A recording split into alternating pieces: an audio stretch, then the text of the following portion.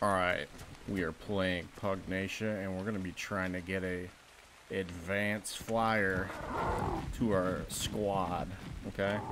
When I'm talking about advanced flyer, I'm talking about...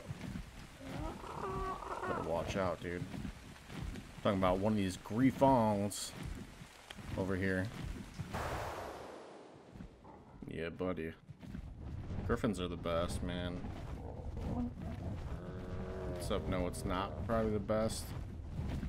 Having this pterodon flying through my body.